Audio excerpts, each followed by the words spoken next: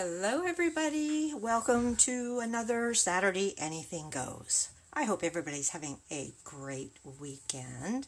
We've been a little wet today with some thunderstorms, but didn't last long, and now the air just smells so fresh and clean. Anyway, what are we about tonight? Well, I thought we'd do something a little bit different. I love 3D projects, and you know, with the shelter at home um, for elderly people, I hate calling myself an elderly person, but let's face it, I am over 65. Anyway, I haven't been able to get out to get a, a, manicure. Our nail salons were closed for quite a bit, and even though they're now open, I just don't want to, you know, risk anything. So I've been doing my um, nails at home. I need to redo mine. they're getting a little shabby. But uh, I was getting tired of like trying to carry nail polish and nail tools and stuff from one room to the other, and I thought, I need a manicure caddy. And so I sat down and I designed this cute little manicure caddy. Now, this is just my prototype. I don't have it decorated at all, um, but we're going to make one just like it. And it holds some fair sized nail polish bottles. I also have some minis in here. Um, and I even have room for my base coat, top coat, and even some nail oil. I love being able to have my um, files and even my little clippers in here as well. And I can pick it up by the handle. It's plenty sturdy. It's not um, wobbly or tipping to one side or another. So that is going to be our project tonight. Be sure and say hello if you've joined so I can give you a shout out. And let me just go to my page here so that I can see you all when you pop in. And there we go.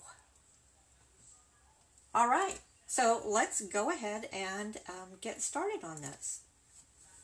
I'll move this out of the way for now. And bring in the supplies that we're going to be using. And I see everybody popping on. Hello, Betty. Hi, Kathy Brown and Kathy Sanford. Hi, Linda.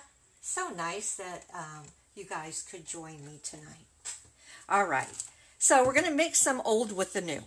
Um, for the new, I'm using one of our new in colors, Just Jade and um, I have a piece that measures 10 inches by 12 inches and that will be for the base of the box. And by the way the base of the box is reinforced so that helps make it sturdy. And then our handle we're going to have a piece that is one and a half by 12 inches. And to decorate we're going to be using some of our best dressed DSP, and this is kind of the old of the project because this is from the last catalog.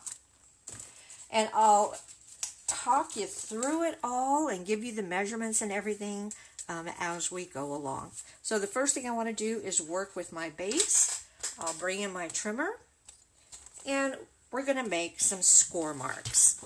So I'll get my cutting blade out of the way. Actually, I both of them because I like using my bone folder to score. And let me make sure you guys can see this. So we're going to make score marks at one and a half inches and three inches on all four sides.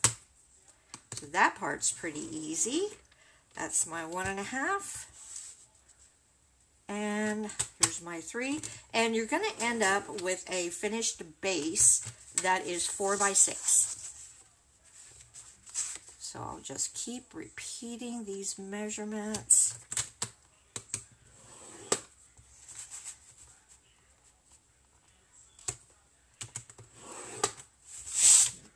On all sides. So is anybody doing anything fun and exciting this weekend? Going maybe hiking out into the great outdoors where there aren't people you have to worry about not wearing masks? That's the only thing that really I worry about when we have to go anywhere. We went to the doctor's office yesterday. Hubby had to have a little um, procedure, and um, we're in the waiting room, and they've done pretty good at not having too many people in the waiting room. It's a fairly large waiting room. Um, but a gentleman walked in and came into the waiting room and sat down, and he did not have a mask on, and I about had a conniption fit. Luckily, they called him back right away. But I was like, oh my gosh, mister. All right, so I've got my score marks, one and a half and three inches. Now we'll just fold and burnish on all of those. I think what I'll do is just start carrying an extra mask around with me and offering it to somebody. Of course, as prickly and as political as masks have gotten, I could start a ruckus, but safety is important, especially with all hubby's underlying um, conditions. All right. And this paper, the this cardstock is a really nice weight.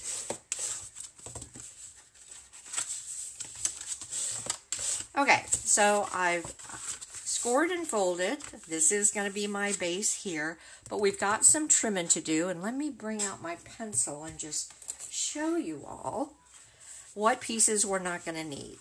So we're going to get rid of this piece, this piece, and this piece. The same over here. So we're getting rid of these bottom two pieces and the one that's above. And then we're going to rotate it and do exactly the same. Getting rid of just the corner pieces. And that will leave us with a flap, which we need to assemble our box, right? Okay. So, sorry if you can't see everything. I didn't want to uh, have the camera up too high so when we start working with the insides you'd be able to see it. Alright, so now what I'm going to do is just go ahead and start trimming away these pieces that I don't need. Oh, I did a lousy job there. Hang on. Gotta get rid of my score mark.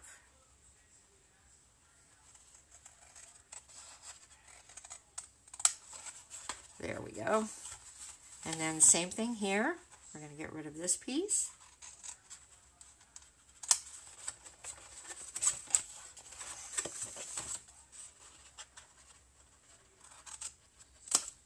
So we're left with that. All right, so we're going to repeat that over here on this side as well.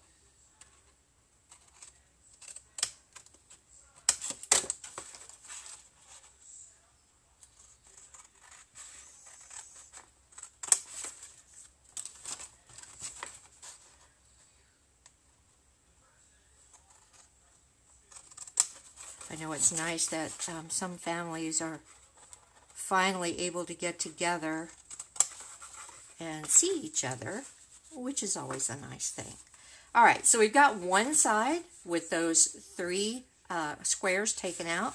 Now, get over there, you. We need to cut up to make our flaps. So I'm just going to cut up this side and this side.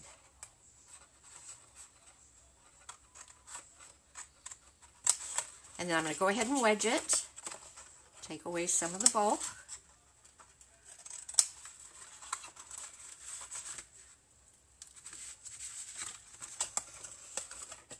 You can fold things under if they get to be a little too bulky.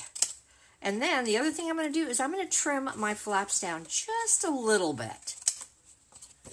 So just, I'm taking maybe a quarter inch off. And then the last thing is on this bottom one, I also am going to go ahead and wedge these sides and that'll make it lay flatter. So that's what we're going to end up with when we're done. All right, let's go ahead and do the other side.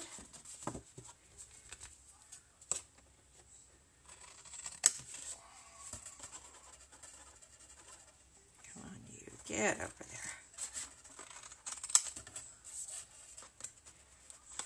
need to sharpen my scissors.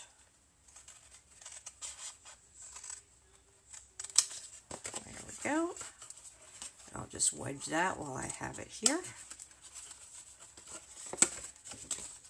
And then I'm going to cut this box away.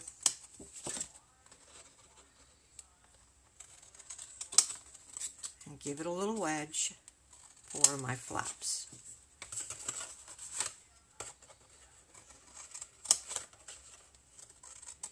And then, like I said, I'm also going to trim my flap down about a quarter of an inch. Let me tidy this up.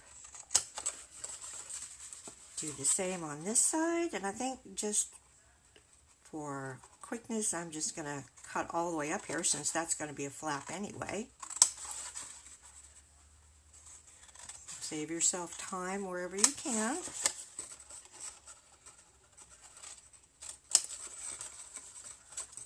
And we'll cut that part away. Wedge out our flaps.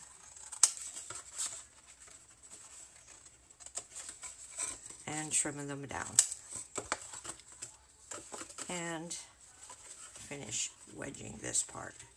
Okay, so we've got both ends done. On the sides here, the only thing I need to do is I'm going to wedge my sides. Because these are the fold over part, the reinforcing part. So we don't, we want them to lay nicely. We don't want them to kind of bunch up in the corners.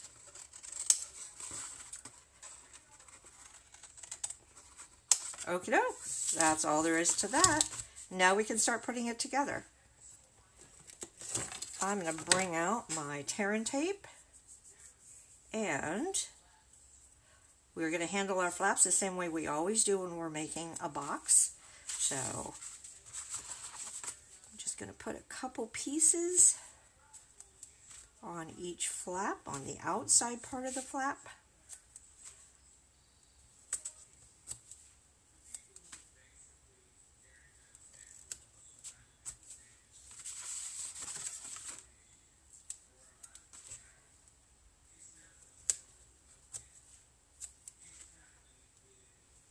Okie dokie.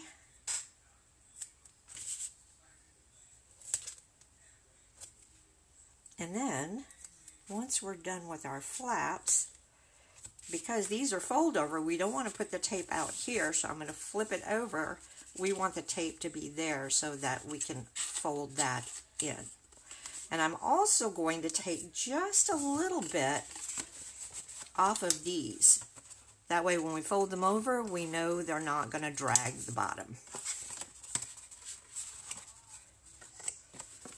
And I'll do it on these end pieces as well.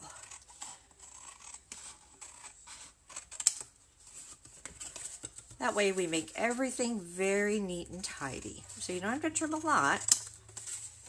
And I wouldn't trim a whole lot because remember, this is what's going to help strengthen our box. So there we go. And now I can put the tape on all of these. So this is probably the longest part of making this is putting all of the adhesive down. You certainly could use, if you still have some fast fuse, that would work well. You could use liquid glue just about any adhesive of your choice, but I would recommend it be a strong adhesive because we don't want our box to come apart. Some of those bottles of nail polish can be quite weighty. Okay, so there we go. Give these a good press. And the first thing we're going to do is work with our flaps. as we want to hide them with the pieces that fold over.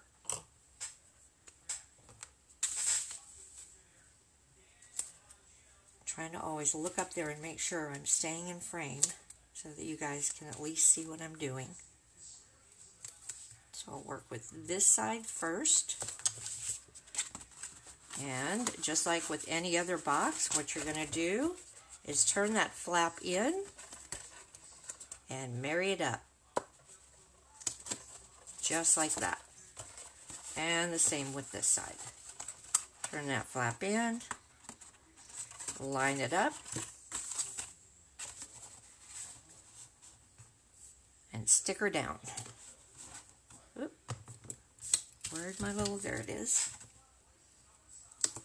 So I'll just take the tape off the remaining two flaps.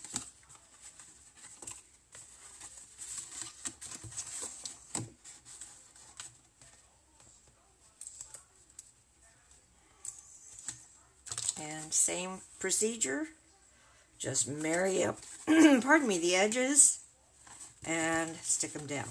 All right, now we can go ahead and work on these, our reinforcing flaps.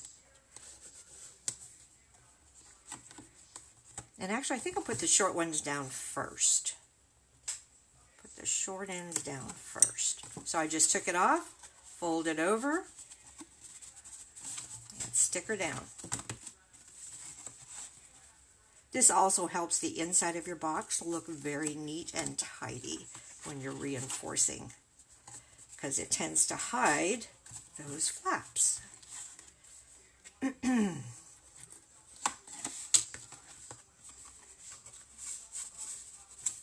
All right, one more to do. And there we go. Now, we could have put, I guess, our DSP on before we put this all together uh, while it was still flat. Um, but I like to do mine afterwards because I have been known to stick DSP up upside down if I try to do it before I put my box together. So let me bring out the DSP that we're going to use. And you'll need four strips. You are going to need, actually you'll need six strips because our handle we will also put DSP on. So you will need two strips that are just shy of four inches by one and a half inches. So those are going to go on our ends here. And then you'll need one that's just shy of six inches and that measures one and a half inches. And make sure my one and a half is right. Actually, it's more like one and a quarter, guys. Sorry. Um, so I cut them down to one and a quarter so that I'd have a nice little border of the cardstock there. To stick it down, I'm going to use liquid glue.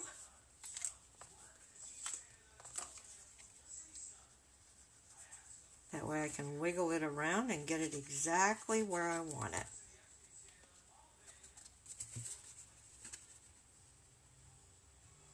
And when I put this down, you'll be able to see there is just a thin border of that Just Jade cardstock sticking through.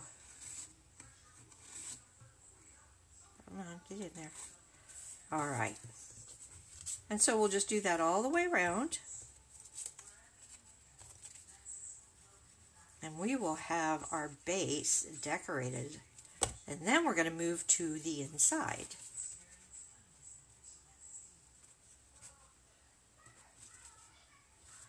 Think I cut that one a little short. Oh well, it'll be all right.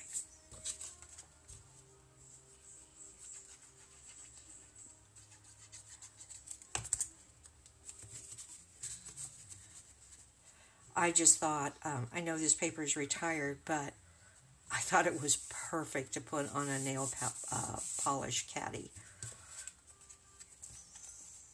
And it'll look pretty sitting at my desk.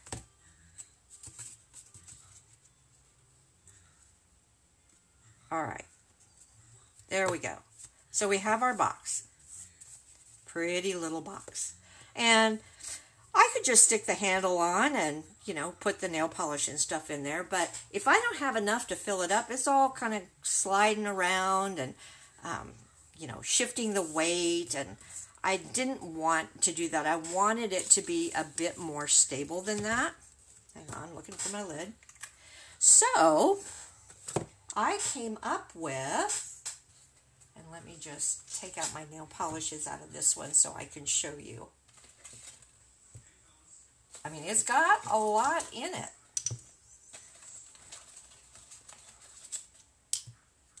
What I did was I created this little um, section that divides everything. And it's a little wobbly, but once you get the nail polish in there, it straightens it out. And the other thing I like about this is you can really customize it. I cut um, slots at every inch. So there's a slot here that I'm not even using. I left that out so that I could make a little place to store my manicure tools with. Um, so this is super, super easy. I'm not going to remake it just because it is that easy, but I will talk you guys through it. So you would need one strip that measures, this is going to be that almost just shy of six inches by one and a quarter. All right, so that is going to be our center strip. Then what I did, I measured up half an inch on this side, and you can kind of probably still see the little pencil mark I made. So I measured up because you don't want to cut all the way through it. Then I cut at every inch, and I just put, again, I measured it. I put a little dot where the line should be. So that's my center um, divider. Then I made four, although it, you can do five, um, that are shorter than that. So these are going to be for the width of the box just under four inches. And on this one, again, I measured up one inch from the bottom, but I decided only to make one cut. I could have made three cuts, but it was too hard for me to divide um, three into almost four and come out with a number that was workable. Plus, this way I can, like, if I did it at uh, that uh, two inch mark, that meant I could get two of my minis in the same um, slot. So that's what I did. These are all four, almost four inches by one and a quarter inch.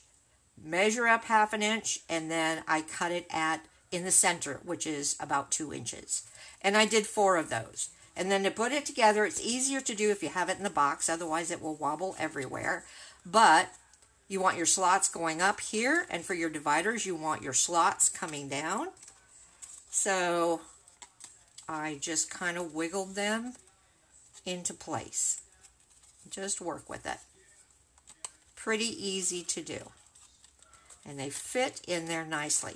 Now, I did not use cardstock for this. You really need something that's a little bit heavier than cardstock. Um, our DSP packets, uh, the 12 by 12 packets, come with a backer sheet to give them a little uh, strength that is heavier than cardstock. And I simply cut up one of those. All right, that's what I used.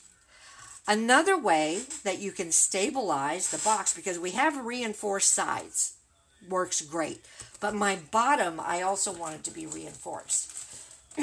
so I just took that same backer sheet and I cut a piece that is 3 and 7 eighths by 5 and 7 eighths. And it fits right in the bottom. You can glue it down if you want to. I didn't, um, but you certainly can. And then when you put this in there, you've got several layers of things that are really making your box stronger. Okay? All right. Before I finish that off, though, we have a handle that we need to do, and then I want to show you uh, how easy it was to make my little tools section. So for our handle, I cut a piece of the Just Jade that is one and a half inches by 12 inches. And I'm going to take out my little piece there because I'm not going to glue this on the outside. I'm actually going to stick it down on the inside. Just like that. Before I do though, I have cut because this paper is six by six. Uh, I had to cut two six six inch sections, but I actually like that because this is a directional pattern. Now it means that my pattern will be the right way because I can flip this one around no matter which side I'm looking at. So that actually worked out in my favor. So let me just glue these down real quick.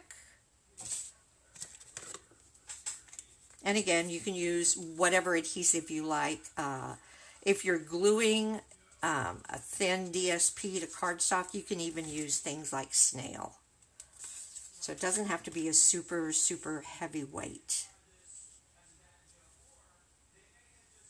And I cut this down just a bit so that I've got a border. So this is, these panels are, come on Linda, um, five and seven eighths by one and three eighths. I think that's right. One and three eighths. Let's see, if my thing's one and a quarter, no, that wouldn't be right. It would be one and one eighth.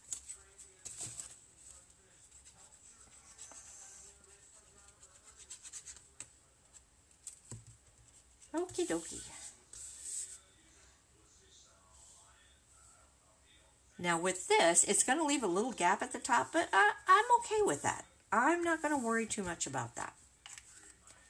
So let me get my bone folder here and just press these down well because we are going to be curving them for our handle. So we want to make sure everything is secure.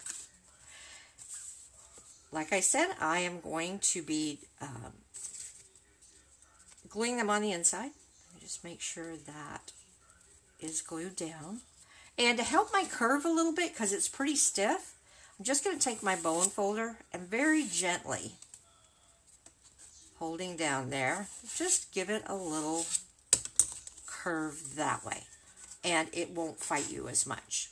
All right, so we're going to find the middle. Oh my gosh, look at that. How many times would I be able to line something up like that?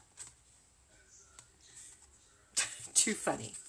I think I'm going to turn it this way so it's not exactly. Well, oh, it's going to be exactly. No, we'll do it that way. All right, that's just my OCD kicking in. So I need to put adhesive in this section. And I want a strong adhesive. So again, I'm going to turn to my tear and tape.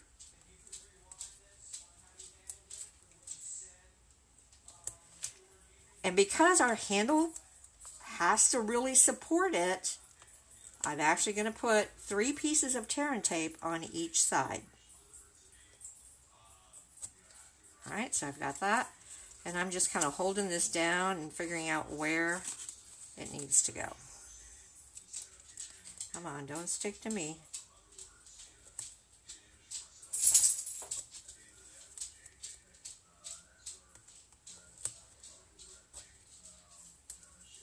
Okay, last one. Give those a good press.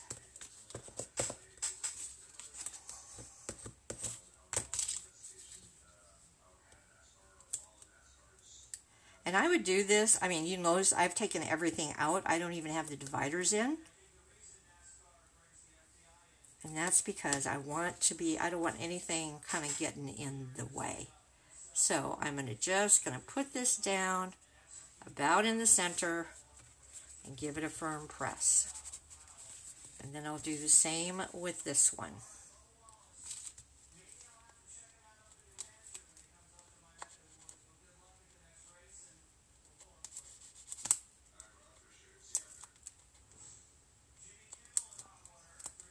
All right. Then I'll bring this over. Just eyeballing to make sure and now I'm going to go in and give those both a firm press just to be sure. Okay, so there we have our box with our handle. We've got our dividers in, and they will look a little messy until you start, you know, putting stuff in them, but they'll straighten out. So I can put in my little mini nail polishes right there. Big one there just to go in and fill these up.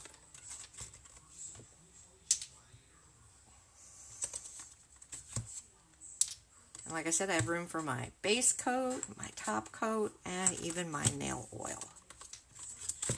Just like that. And see how well the dividers keep them in their spots?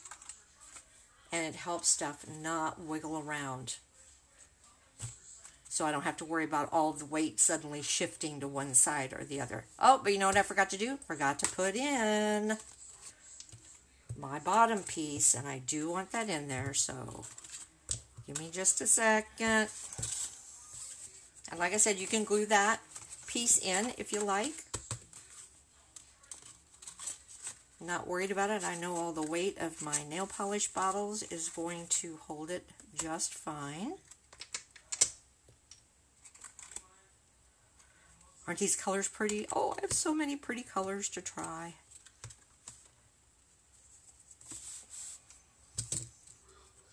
Oops. Okay.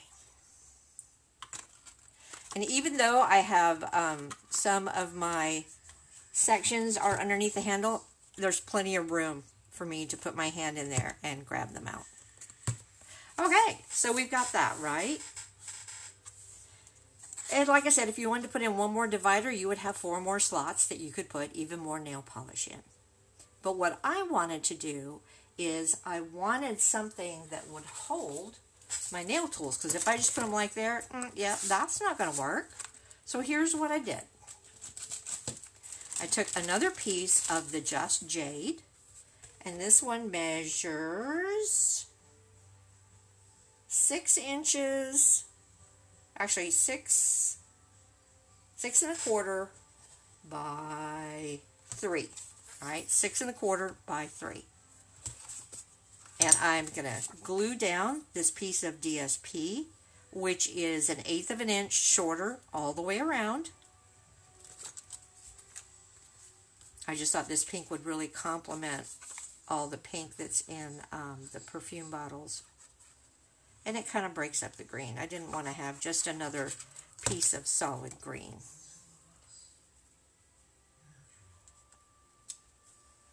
All right, so we'll get that all stuck down. And now you can use liquid glue for this, but I wanted it to dry pretty quick. So I'm actually going to use tear and tape because what I'm going to do is curve this around and make a circle of it. And I'll put a piece of tear and tape right along the inside edge here. Ooh, I got sticky on there.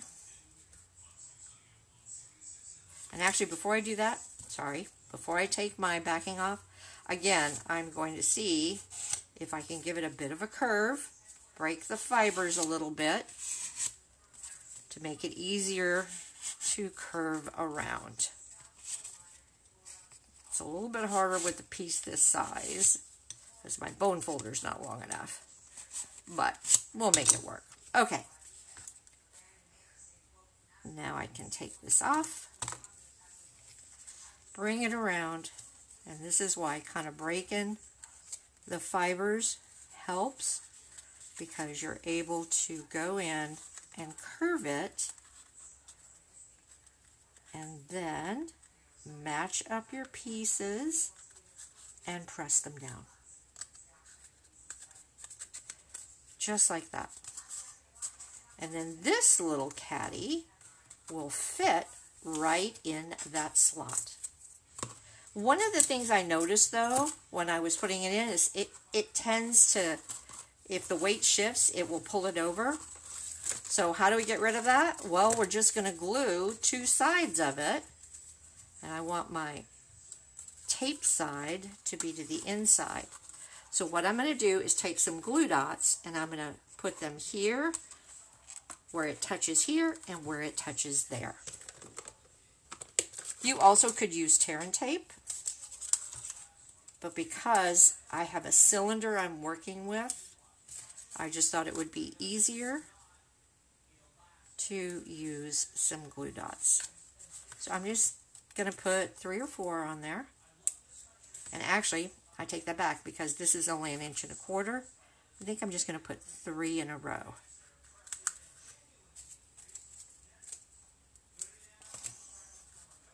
All right. So I have it there, so that's going to stick to there. And what I'm going to do is I'm going to go ahead and stick those down now. Right, so I've got it in there, and I'll just take my bone folder and really rub it in there. Yep, that's not going anywhere. And I could could have left it there, but if things start toppling this way, my glue dots might start to separate. So what I'm going to do is I'm going to go ahead and put just a few more over on this side where it touches the panel. And I can just pull this away, Pardon me if my head gets in the way.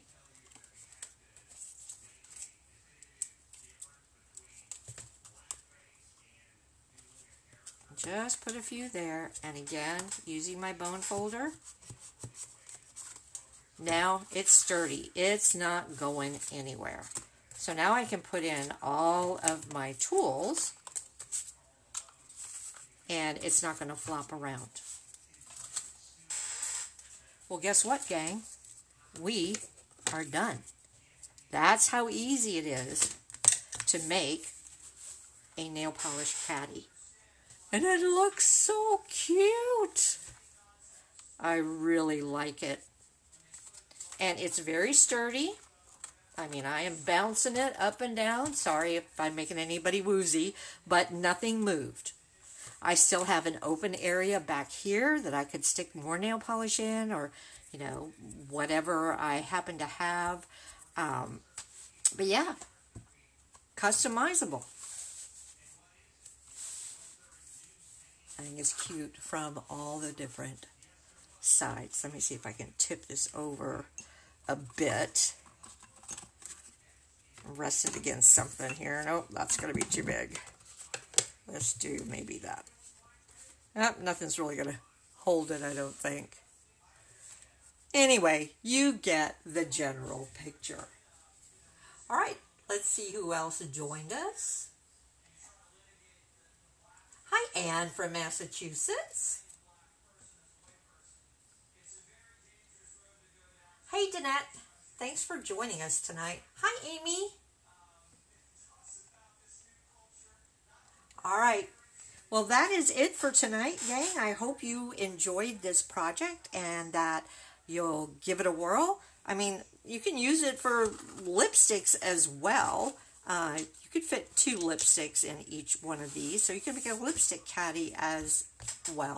But uh, so it can definitely be multi-purpose. All right, gang, I'm going to let you go. Uh, get back to your regularly scheduled Saturday night. Um, I hope you, again, enjoyed the project. You'll give it a try. If you have any questions, just leave me a comment below, and I will be more than happy to get back with you. If you have any suggestions for future projects, also leave me a comment. Always looking for ideas on things um, to make. So until next week, we'll meet again, same time, same station. Um, I will bid you all a good night, and remember, stay safe check on your neighbors, wash your hands. Good night, y'all.